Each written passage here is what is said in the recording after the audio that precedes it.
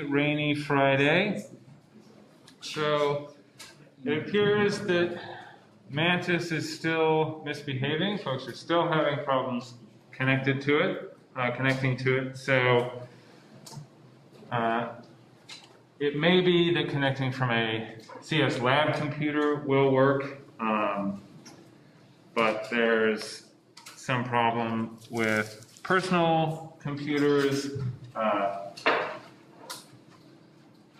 there's also another CS server called Mirage, but uh, unlike Mantis, you weren't all like given accounts on Mirage, but I can make that happen today so that that will be another option uh, to connect to. Um, but please keep letting me know as you have problems connecting because I want to keep working on figuring out how to get this uh, operating the, the way we expect. So I will I will send out an, an announcement on, on Moodle later today after I've had a, a chance to follow up with Mike Ty.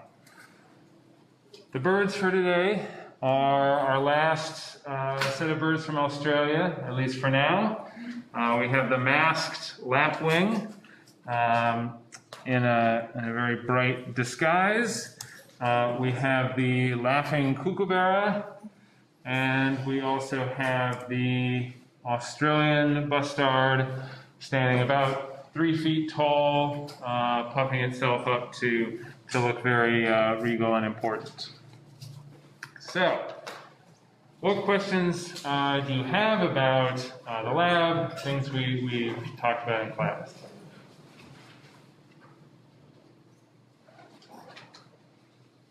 Yeah. Or puffing on his chest just to like attract a mate, or is that just do it as a choice dance? Uh, almost certainly to attract a mate whenever a, a, a bird uh, puffs itself up, that's almost always the reason.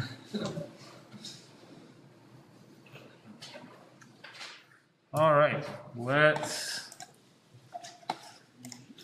do a warm up to get back into where we left off on Wednesday. All right, let's just get, uh, get back into thinking about uh, representing numbers in bits. So if we have n bits for an unsigned integer, what is the range of different unsigned integers that we can make with n bits? So definitely not 0 to n, but maybe one of these other three involving a power of 2. Please discuss with your neighbors uh, why you think it's, it's the one you chose. All right, so it is the last one here. The majority has it uh, has it right. Uh, why? Uh, where do we get this 2 to the n minus 1? Where does that come from? Yes? I mean, the total number of numbers you can represent with a series of bits is just going to be 2 to the power of n when n is the number of bits. But then since we're representing 0 with 0, 0, 0, etc., we have to be minus 1 for the top end of the range. Exactly right. But, uh, each bit has two possibilities, so if we have n bits, that's 2 times 2 times 2 times 2 for the number of different things. Uh, and yes, if we have 0, then that sort of prevents us from, from getting all the way to, to, to 2 to the n. Any questions about this?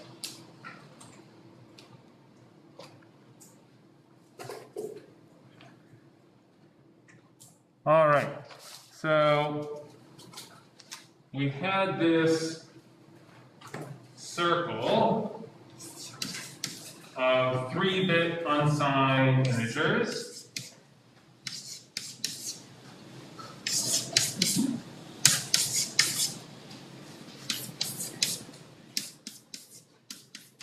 They went from 0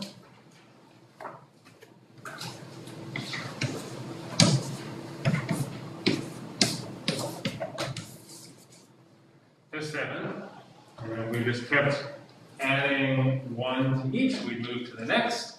And of Wednesday that we have uh, this idea of overflow, where if we had 111 plus 1, this would give us 1 with three zeros, but we have a fixed width number, meaning we only have three bits, and so when we have something carry out past the three bits, we throw it away,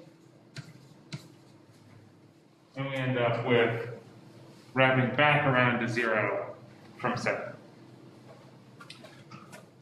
So then the question is, okay, unsigned numbers seem uh, maybe straightforward. We can just add the, the binary together, do arithmetic just like we might expect. But how would we do signed numbers? So we're going to consider two different strategies for representing signed integers. So why don't to get started, uh, I'd like you to, to, brainstorm with your neighbors for a couple minutes uh, ways that we might approach or, or ideas you might have about representing positive and negative numbers using some pattern of bits. All right. So, what's uh, can someone share an idea that came up in, in your discussion? Yes. One of me. Mhm. One of the bits can be like in, in the final positive or negative, like zero, positive, one, negative. Yeah, so we could reserve one of our bits to indicate positive or negative, and then the rest of the bits are the number. This system has a name.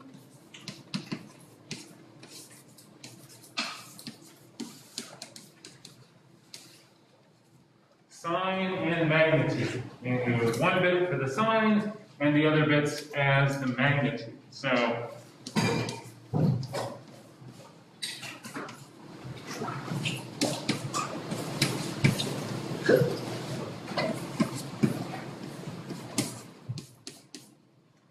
We again have our circle of three-bit values. We have zero, one, two, three. What would this be? Negative zero. Negative zero. Okay, that's a little weird. Uh, negative one, negative one, negative two, negative negative two, and negative three. So, what are some what are some observations about this this system? Yes. It- Yes. Sorry. It's horribly inefficient. You're losing the eighth of your memory storage. Yeah, we. I mean, it's, it's per, proportionally with three bits, it's it's bad. But we do have we do have two zeros. Uh, two zeros is is weird. Do we say that these are are equal? Are they not equal? Um, yeah. So there's there's some weirdness in this in this two zeros thing. Other other observations. Yeah. Yeah, when we like add a positive and a negative number, we can't just add the bits together and see what we get. Like if we add uh, negative 2 plus 1, what do we end up with?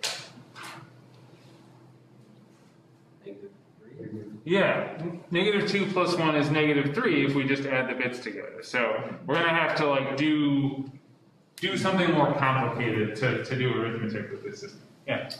Um, if we have digits from first digit all the way up to n digits, then that nth digit is going to be equal to um, negative 2 to the n. Is in, in this system Uh, or? oh, I'm saying like a new system. Oh, so, so maybe we have some other system where, again, our most significant bit is special. And uh, we'll get to that, that in a moment. That also has a name. Uh, other observations about sign and magnitude.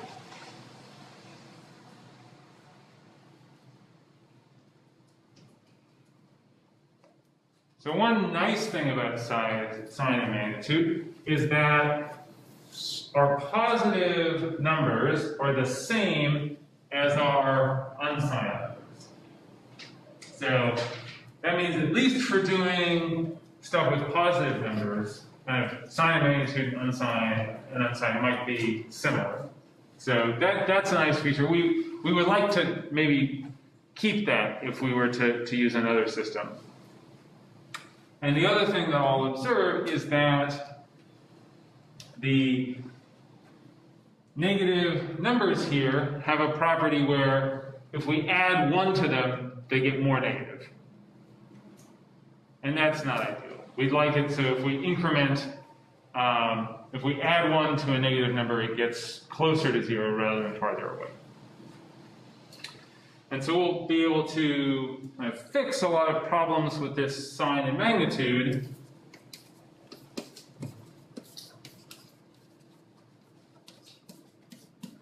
using a system called two's complement. And this is what uh, uh, Christian described, where we're going to say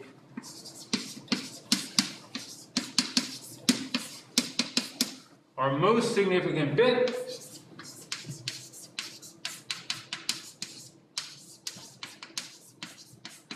will count for its negative weight. So on Wednesday, we talked about bit weight, where just like the, the, the 2 to whatever power, the place that the bit is in. So under 2's complement, we're going to say most significant bit is its negative weight, and the rest are normal. So if we put this uh, in our uh, little wheel,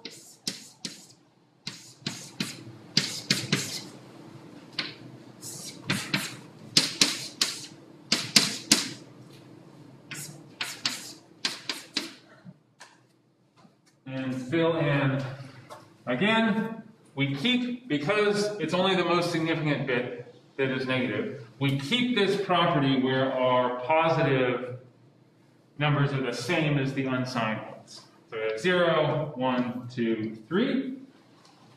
And what would this be under this most significant bit counts as negative, the rest are positive?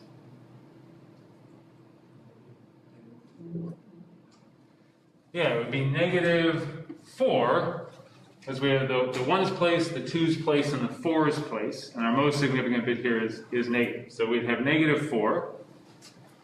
And then what would the next one be? Yeah, negative 3. We have a negative 4 and a positive 1. That gives us a total of negative 3. This next one we have negative 4 and then positive 2 negative 4, positive 3.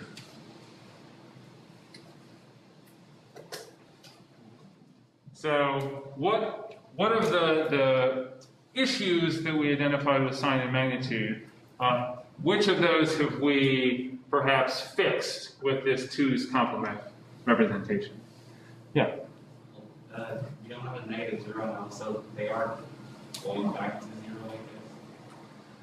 Yeah, we've, we've gotten rid of this negative zero weirdness uh, because we're not reserving a bit that is doing something separate than the kind of the uh, than the value of the number that's just the sign.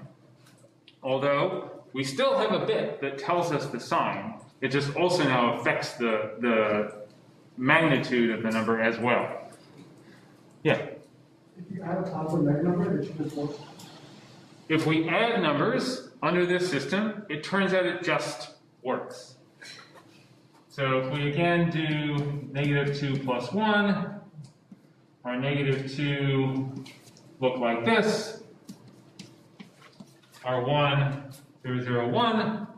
This gives us 1, 1, 1, which wouldn't you know it is negative 1. And so under 2's complement, we can just add the bits together use exactly the same arithmetic operation we would with unsigned, and we will get the correct result. That's kind of magical that under this system we can actually do signed and unsigned arithmetic using exactly the same hardware. The circuits don't need, don't need to change at all.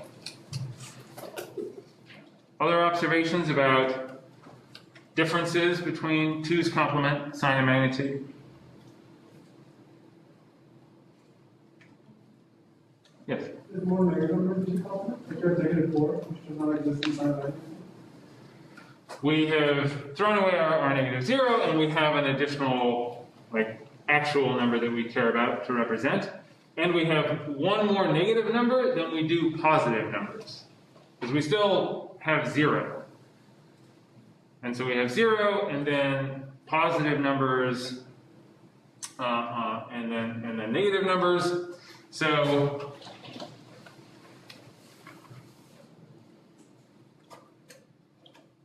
if we were to say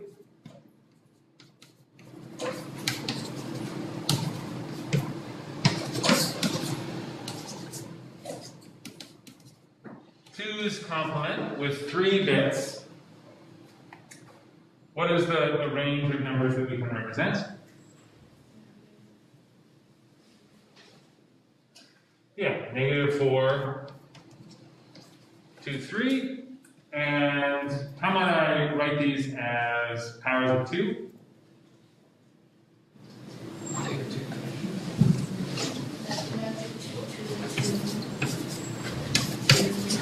Yep, we have negative two squared to two squared minus one. And so if we then say, well, let's, not with three bits, but with n bits, we had three bits gave us two squared to two squared minus one. These exponents become n minus one. And so a 2's complement of n bits gives us this range from negative 2 to the n minus 1 up to 2 to the n minus 1. And just like with unsigned, we have this minus 1 because 0 takes up one of our, our spots.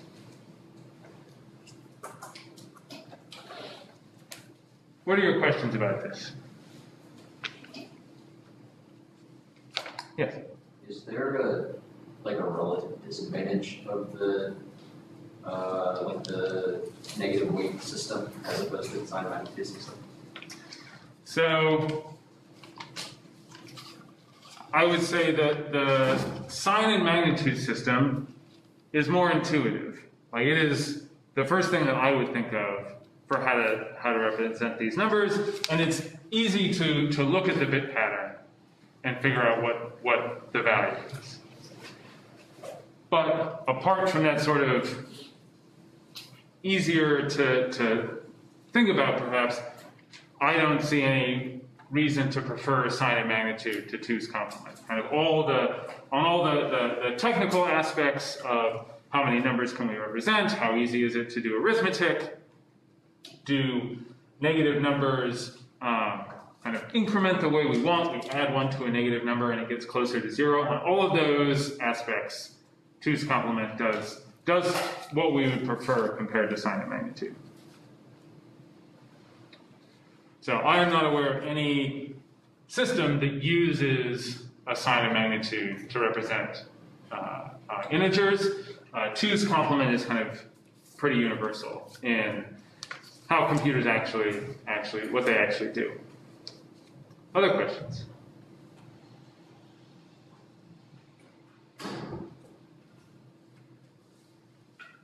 So, looking at this circle, I hope that it has become clear how that example of 200 times 300 times 400 times 500 gave us a large negative number.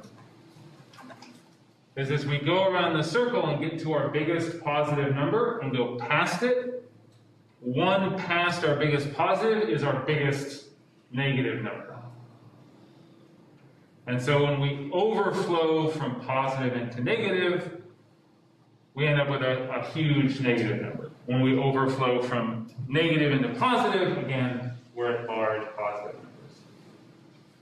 And this is, compared to sign and magnitude, we've kind of flipped the, the way that the negative numbers go. So they're, uh, and it has this nice effect that 0 and negative 1 are now next to each other negative 101, that's great.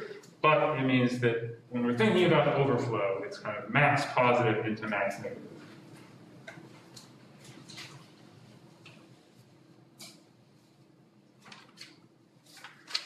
All right, let's do some practice with our new 2's complement knowledge.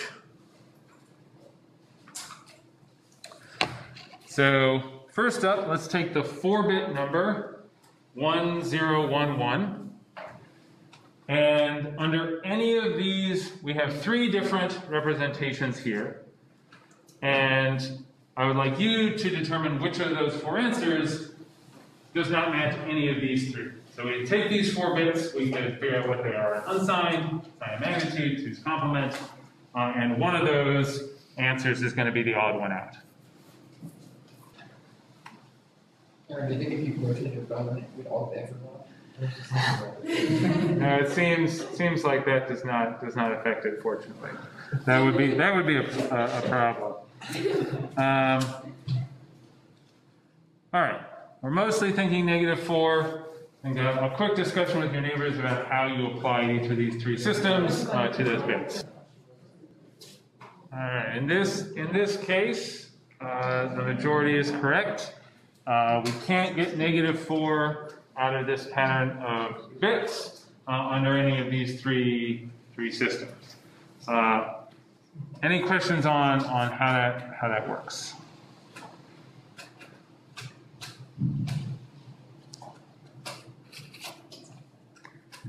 All right. So now let's move into eight bits, getting more more and more bits. And now let's just practice some twos complement. So which two uh, base 10 values do these 8-bit numbers represent using twos complement? So most of us thinking negative 1 and, and 39, maybe some, some other possibilities.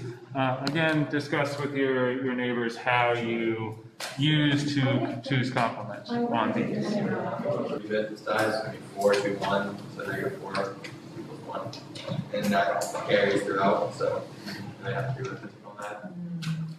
Exactly. The, the, the binary that's all ones may seem like it should be a big number, but in fact, you might think that for the first seven places, if we had those all ones and we added one to that, we'd get a one in the eighth place with all zeros.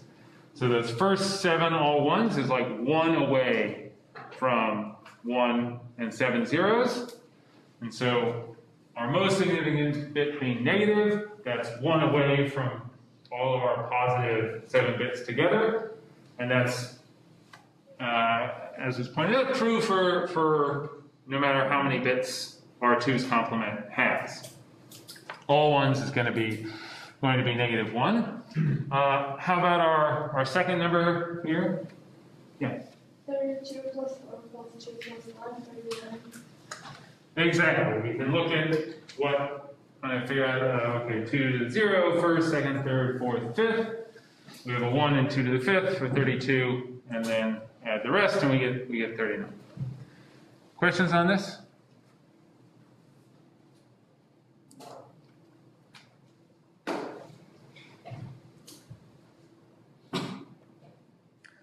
And last bit of uh, practice with our, our cards.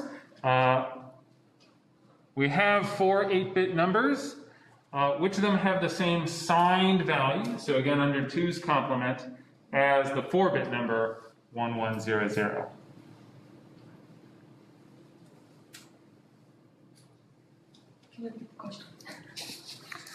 So we have four different 8-bit numbers.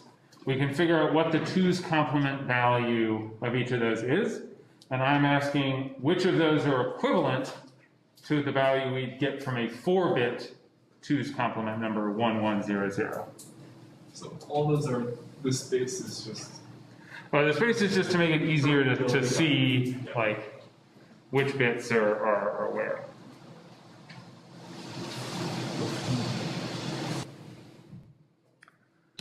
All right, we're, we're mostly thinking it's, it's C.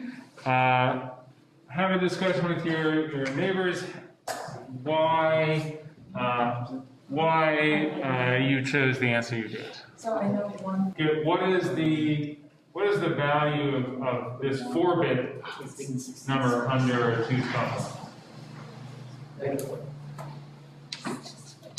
Negative four? How do we get that? Negative eight plus four. Yeah, our most significant bit is in the eighths place, negative eight plus four gives us negative four, so we want some number that, that is going to be negative four under two's, two's complement at eight bits. So if we have, we know that the most significant bit has to be one, because that's the only way we can get a negative number in two's complement. So instead, it, it can't be that, that first, that the answer A. What is the weight of uh, this most significant bit? Two negative two to the power, negative two to the power of seven. Yeah, it's negative 2 to the seventh, I heard negative 128. So now maybe by process of elimination, we can say, well, we, we probably have to add a, no, a significant number of positive bits to get negative 28 down to, to negative 4. Uh, so without actually working out, out the math, I would guess that it would need to be C, that we would need a lot of, a lot of ones to, to get this to balance out. Uh, if we uh, do the math of uh, 128 plus 64 plus 32 plus 16 plus 8 plus 4, we need to find out that that, that will give us negative 4. So it will be C. This illustrates uh, something called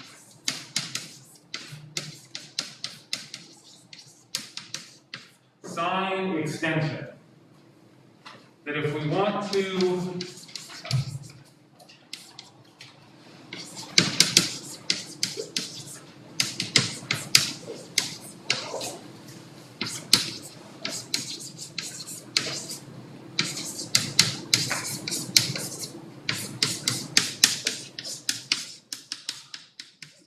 that if we want to convert a signed integer to a larger width, is, go to a go to a representation that uses more bits, we just take the sign, whether it's zero or one, whatever the most significant bit is, and just copy that out. And that will actually give us the equivalent value just using more bits. So that's how we know going from this 4 bits to 8 bits, we take our sign bit, which is also contributing to the value, which is my uh, 2's complement, and then we just copy it out to the new bits that we're adding, and then we use the same bits as before here. So we take these and go here, and take our sign copy that. And this is called sign extension. What are your questions? Yes. Is there a sign contraction? So there is something called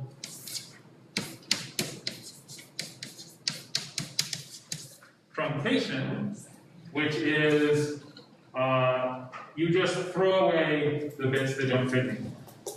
So this this is why you have to be very careful about converting between different types of images.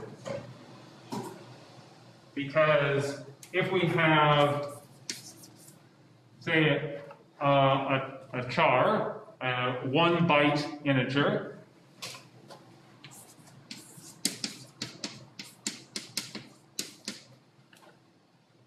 what is the maximum positive value that we can make with 8 bits? Two fifty-five.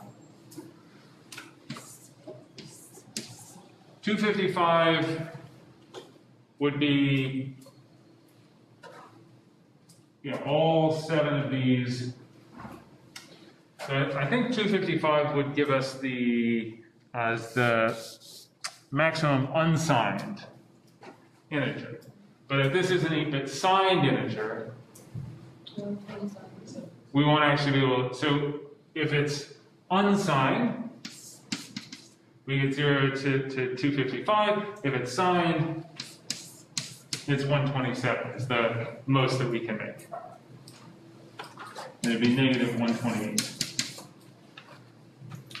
And so if we are converting some integer that uses more bits to a char, and it's bigger than 127 or smaller than negative 128, we just, we can't fit our, the integer we have into a char, and so we just lop off the bits that don't fit. It's called truncation, and we're gonna lose some information. There's just no way to avoid that. Yes? Do you lop them off from the least significant end or the most significant end? From the most significant end. Yes? Can like the sign or do to sign? Uh, you, if we had 32 bits, we take the upper 24 and throw them away.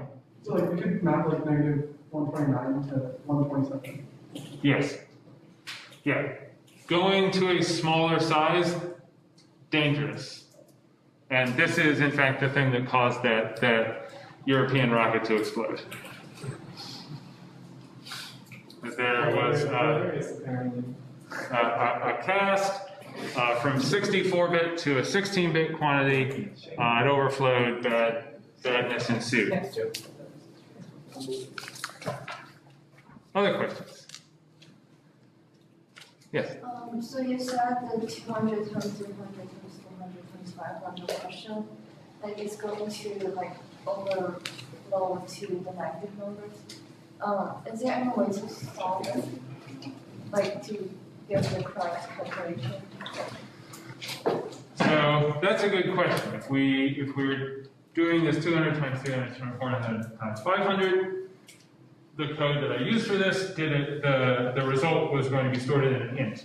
So which, even though I did it in Java, an int is also four bytes in Java, just like it is in C. And the product of those four numbers is a larger positive number than we can represent with 32 bits. So this is sort of a, a programming language uh, design question. Like when this happens, when we do arithmetic that overflows, that we just cannot represent the result in memory we're storing it, do we raise an error or throw an exception? Or do we just let the program kind of plow on through? Java and C say plow on through, not a problem. Overflow is fine. This is this is what this is uh, uh, what was intended. Other languages, I think Python raised an exception for an overflow error. So the only way to actually represent the correct answer is to use more memory, to use more than the four bytes. So in a language where there was such a, uh, where it did raise an exception, you could catch that and then try and uh, uh, store the result using, using more memory. But in C and Java, uh, you kind of have to anticipate that this might happen ahead of time. There's no way in, in runtime to, uh, uh, to react accordingly. Yes? Can you define larger ints and stuff like that in C So there, um, if we look at c++.com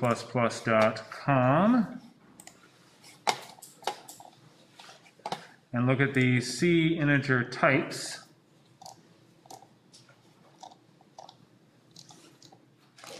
there, this is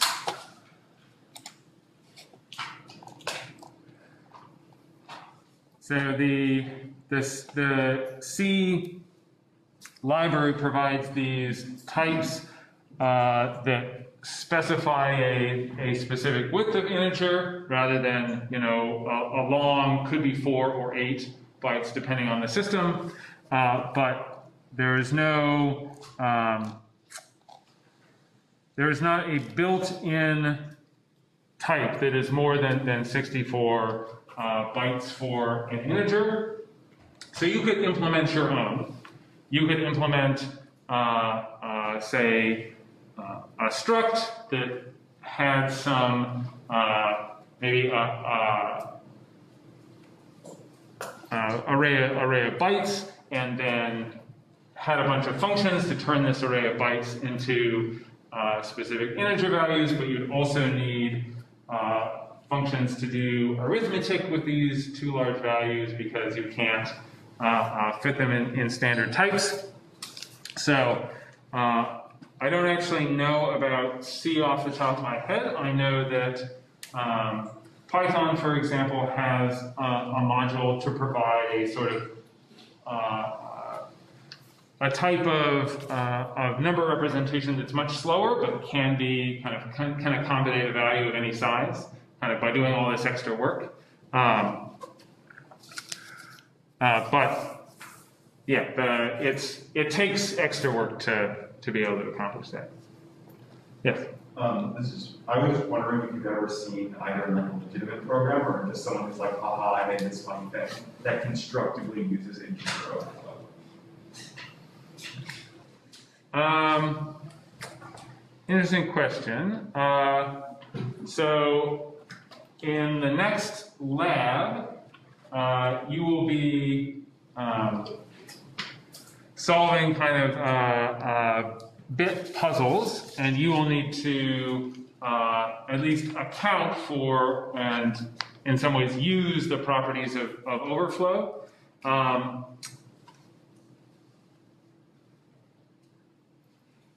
I, I mean, I know that that uh, video game speedrunners often use integer overflow to like cause glitches, to to um, uh, uh, cheese past um, walls or or, or uh, obstacles or, or whatnot. But no, I, I, I can't think of why uh, you'd want kind of. I mean, overflow in a sense is, is modular arithmetic, which kind of comes up in, in a lot of contexts, but um, yeah, it's not. It's more of a limitation than a kind of than a tool. yes. Is, is there like a reason why languages that are okay with overflow or like don't raise an exception wouldn't want to raise like at least a warning in compilation time or something? Or So it, it can't do it in compile time. Because the calculation has to happen after, but like, you know, in debug mode, maybe. Um, yeah, so this was just, uh, there's always a trade-off to make the language simpler and faster versus make the language uh, safer and more robust. And so Java and C said, we're not going to put an additional check on every arithmetic operation in order to detect overflow. And so there is a benefit to that, but also a cost. So it, it's simply it's simply a trade-off. And um, yeah, when when you go for sort of the, the speed and efficiency, it often puts more burden on the programmer to worry about these sorts of edge cases. Small follow-up. I know you mentioned Rust is kind of like a, a, a version of C that kind of accounts better for programmer failure. What does Rust do with regards to?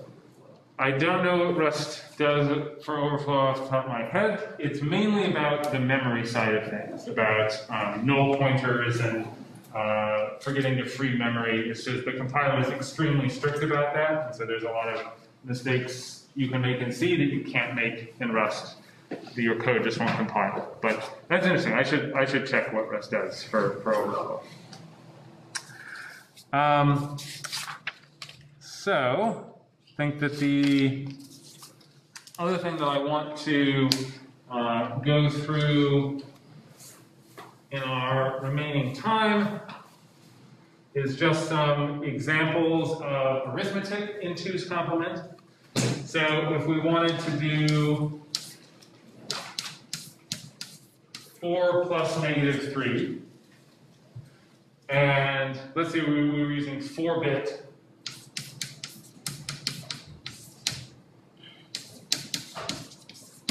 four bit two's complement. We could get four, zero, one, zero, zero. we get negative three by, okay, we have a one for a negative eight. And to get from negative eight to negative three, we have to add five. So then I put the, the bits for five. And then by draw these out like this and just add the bits together, I get one, zero, zero, carry the one, zero, carry the one. And so like I mentioned before, when we have some bit carried out of our fixed width arithmetic, if we only have four bits, we only keep four bits. And we throw away whatever uh, carried out. So the result, zero, zero, zero, one, or one, and that's what we want when we do four plus negative three.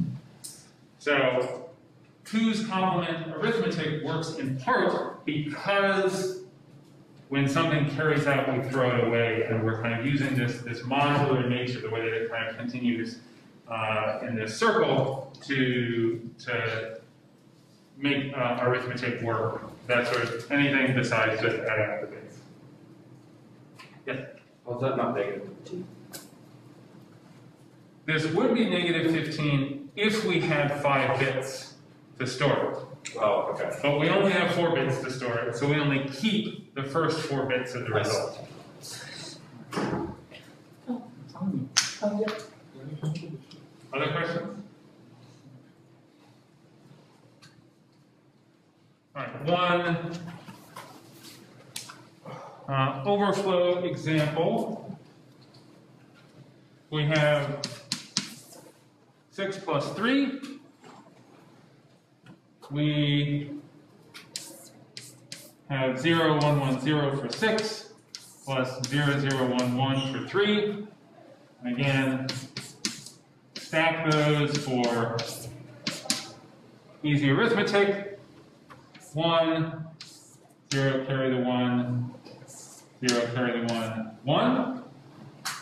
So here we added six and three together. We didn't get any uh, any bits carrying out, but in our four-bit twos complement, what does one, zero, zero, one give us? Yeah, negative seven. A negative eight plus one. And so six plus three, you know, would be nine, but with four bits, we get uh, negative seven, uh, rather negative eight to seven. So we can't actually make nine in four bits two's complement, and so it goes up to seven, and then keeps going into negative eight, and then negative seven. So we can add two positive numbers and get a negative result. That's one way that we know that overflow occurred. If both inputs were positive, but the output is negative, uh, it must it must have overflowed. Yes. We just read it as unsigned, can, can we just do that? Because there's no negative number, so there's no real need to read it as, as a signed number. So that's a good point that uh, if we're adding six and three in four-bit unsigned numbers, we could make nine, and that's fine. But the way that we handle data in computing in general and, and in C is that we have some bits stored in memory, and we have assigned a type, a way of interpreting those bits. And it's important that we kind of always interpret those, we interpret those bits consistently, that that interpretation doesn't just sort of change uh, arbitrarily. So because we said these were signed integers, we interpret the result as a signed integer. And so we could explicitly convert the result to an unsigned, um, but, but that's sort of a separate issue. All right. Uh, that'll do it for today. Keep working on Lab Zero. There's some more practice uh, problems given in the notes. Hope you have a great weekend, and I'll see you on Monday. Thank you.